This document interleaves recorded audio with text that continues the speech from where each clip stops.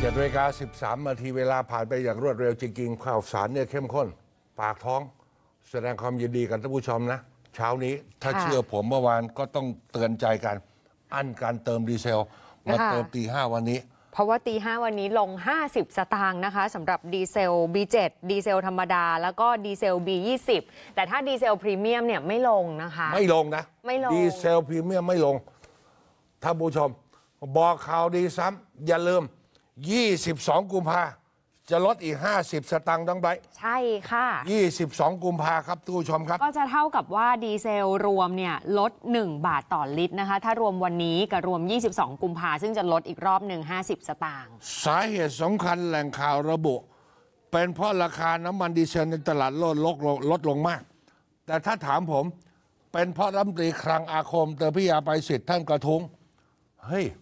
ลดภาษี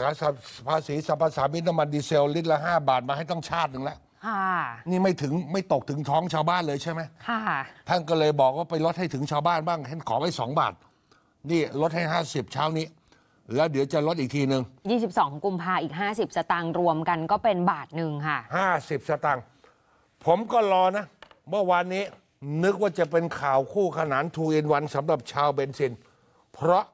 เมื่อวานนี้ มีการประชุมคณะกรรมการ บริหารนโยบายพลังงานที่ท่านรองนายกสุพัฒนพงษ์พันธ์มีชาวท่านเป็นท่านเป็นรัฐมนตรีพลังงานด้วย ประชุมคณะกรรมการกบงที่ว่านี้ และพิจารณาสถานการณ์ราคาน้ำมัน ในตลาดโลกมีแนวโน้มปรับลดลงในช่วงที่ผ่านมา ก็ดีเซลนี่แหละ รวมถึงการขยายเวลาภาษีสรรพสามิตดีเซลออกไปใช่ไหมน้องใบค่ะนั่นทำให้ในช่วงที่ผ่านมา กองทุนน้ำมันเชื้อเพลิง ในส่วนบัญชีน้ำมันมีรายรับวันละ 516 ล้านบาทค่ะ ถ้าคิดเป็นเดือนก็คือเดือนละ 14,455 ล้าน แปลว่าเก็บเงินเข้ากองทุนน้ำมันได้วันละ 516 ล้าน ค่ะทำให้กองทุนน้ำมันในส่วนบัญชีน้ำมันเนี่ยมีฐานะติดลบน้อยลง แต่ยังติดหลักแสนละอ่ารวมแล้วเนี่ยหกหมื่นล้านมั้งถ้าพี่จำไม่ผิดนี่ใช่ไหม นี่ค่ะ ประมาณแสนแปดพันล้านบัญชีน้ำมันอ๋อถ้าบัญชี62,000เดียวหกหมื่นสองค่ะ ไอ้แก๊สเนี่ยมันเยอะค่ะท่านผู้ชมและแก๊สมันจะพุ่งมันจะสวนทางกันค่ะเพราะฉะนั้นกบงมีมติเห็นชอบค่าการตลาดน้ำมันเชื้อเพลิงที่เหมาะสม โดยปรับลดค่าการตลาดน้ำมันเชื้อเพลิงเนี่ยน้องไบรท์กลับเข้าสู่ภาวะปกติตามปี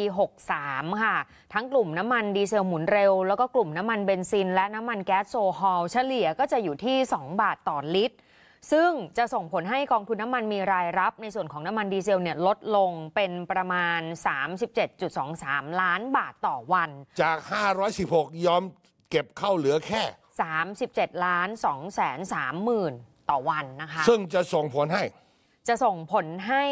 ราคาขายปลีกกลุ่มน้ำมันเบนซินเนี่ยปรับลดลงประมาณ 90 สตางค์ถึงบาท 20 สตางค์ต่อลิตรค่ะ โดยการปรับลดนี้จะมีผลตั้งแต่ 15 กุมภาก็คือวันนี้เป็นต้นไป ไหนอะไม่มี ไม่มีเบนซินไม่มี ไม่มี วันนี้ไม่มีเพราะค่ะ จะต้องไปประสานสำนักงานกองทุนน้ำมันเชื้อเพลิงนำเสนอกรรมการกองทุนน้ำมันเชื้อเพลิง ใช้กลไกดำเนินการ คือ ทำไมต้องมีขั้นตอนทำไม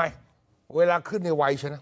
ค่ะ เวลาลงเนี่ยมีขั้นตอนอะอย่างที่ว่าเนี่ยน้องไบร์ทค่ะ แล้วงงงๆไหมน้องไบร์ทงงงๆเมื่อวานนี้ นักข่าวส่งเข้ามาพี่ต้องถามกลับ เกี่ยวอะไร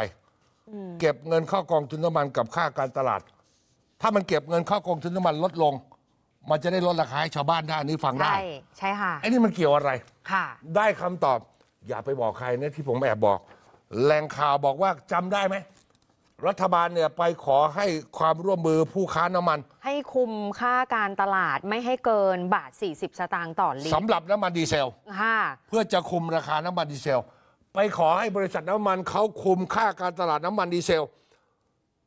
บาท 40ผู้ค้าเขาก็เลยเพิ่มค่าการตลาดในกลุ่มเบนซินกับโซฮอล์แทนนะคะ มันเกิน 2 บาทต่อลิตร เพื่อจะได้เอาไปถัวกับดีเซลที่ถูกขอความร่วมมือมา เพิ่งรู้เลยค่ะ ท่านผู้ชม เก็บค่าการตลาดเบนอ่าดีเซลบาท 40 แต่ไปเก็บค่าการตลาดเบนซินเท่าไหร่รู้ไหม2บาทกว่าค่ะ3บาท 40 โอ้ถ้าดูตารางใช่ไหมท่านผู้ชม ค่ะ นี่ 3 บาท 41 สตางค์เบนซิน 95 ถ้าเป็นแก๊สโซฮอล์95 2 บาท 80 ค่ะ ถ้าเป็น 91 3 บาท E 20เก็บ 3 บาท E 85เก็บ 3 บาท 70 ค่ะ ไม่เงียบนี่คืออึ้งนี่เราปล่อยให้เก็บค่าการตลาดน้ำมันเบนซินลิตรละสามบาทกว่าอย่างนี้มาตลอดเหรอ โอ้ฮะนี่ก็เลยจะอะปรับให้เหมือนปี 63 เอาตามกลไกก็แล้วกัน ก็เหมือนกับว่าไม่ต้องไปตึงค่าการตลาดดีเซลบาท 40เขาจะได้ไม่เขาจะได้ไม่ต้องไปเกลี่ยไปเกลี้ยเก็บจากเบนซินเยอะ ก็เลยลดราคาเบนซินได้ เข้าใจหรือยัง อึ้งไหมค่ะอะแล้วเมื่อไหร่ยังไง เดี๋ยวตามกันดูที่เก็บค่าการตลาดน้ำมัน3บาท41 สตางค์จิตใจทำด้วยอะไรท่านผู้ชม น้ำมันโลกเป็นยังไง น้ำมันโลกเมื่อคืนที่ผ่านมาปรับลดลงประมาณ 1%ค่ะ หลังจากที่กระทรวงพลังงานสหรัฐระบุว่า จะปล่อยน้ำมันจากคลังฉุกเฉินจำนวน 26 ล้านบาร์เรลออกสู่ตลาด น้ำมันดิบเบาที่ตลาด NYMEX ลงทันทีเลยนะคะ 1 ดอลลาร์ 8 เซนต์ปิดที่ 79.06 ดอลลาร์ต่อบาร์เรลเบรนท์ลอนดอนก็ลงไป 1 ดอลลาร์ 3 เซนต์ปิดที่ 85.58 ดอลลาร์ต่อบาร์เรล ส่วนน้ำมันสำเร็จรูปตลาดสิงคโปร์ขยับขึ้น แต่ขึ้นเล็กน้อยค่ะ 22 เซนต์ปิดที่ 108.19 ดอลลาร์ อ้าว นั่นก็แปลว่าสิงคโปร์ขึ้นนะ น้ำมันสำเร็จรูป น้ำมันดิบก็อย่างที่ว่าไปเนี่ยน้องไบร์ทถูกไหมค่ะน้ำมันดิบโลกก็ปรากฏว่าลดลง 1%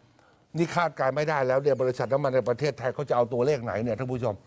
แต่ยังติดใจจริงๆนะ ค่าการตลาดใช่ไหมคะ คือทำไมเราสามารถจะบอกว่าอะคุมราคาค่าการตลาดน้ำมันดีเซลเอาไว้สักบาท 40 นะ ร่วมมือกันหมดเลย ค่ะ แล้วไปป่องที่เบนซินสามบาทกว่าเนี่ยมันจะติดใจนะอะเดี๋ยวรอดูเห็นว่าวันนี้จะมีแถลงครับตู้ชมฮะ